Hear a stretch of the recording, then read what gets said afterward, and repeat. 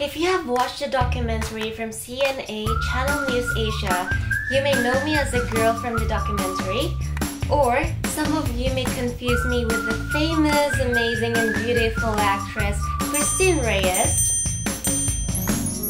Joke lang, just kidding. But anyway, please allow me to introduce myself. My name is Mercedes Pair, Binibini number 34, the only candidate representing Cebu in Binibining Pilipinas 2020. Mama na ako, taga Cebu, pero ako natawo sa Hong Kong. Kada summer, kung ma-holiday mi, muuli jud mi sa Cebu or sa Pilipinas tungod sa paborito na ko pagkaon. Parihas sa tortang talong, laing, lauoy, labi na jud ng kanang halo-halo, lami jud kaayo. Ako'y gusto i-share sa imong tanan. Coming from a multi-ethnic family, self-identity had been an issue since I was young. I was insecure as I was perceived as different in school.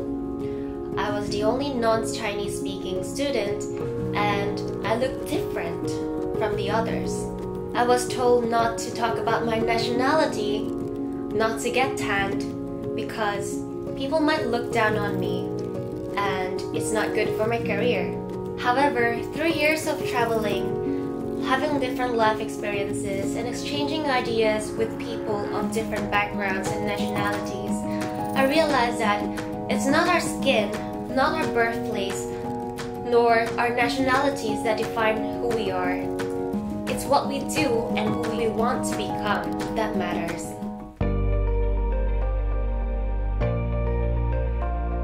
If I can talk to my younger self back then, I would say, no matter what you do, people may have different opinion.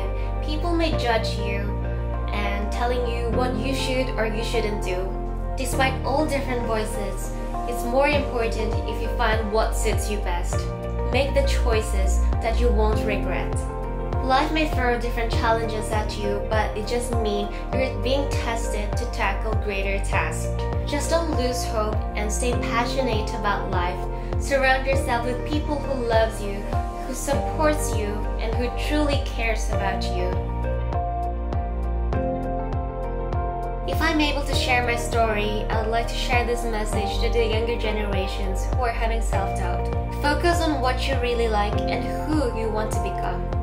If you truly love and are passionate about something, you'll find ways to make things work. Learn to analyze and identify what's good and bad. Be aware of the voices that you listen to. Choose to create your opportunities and be aware that you do have choices. If people say you're different, say yes, you're extraordinary.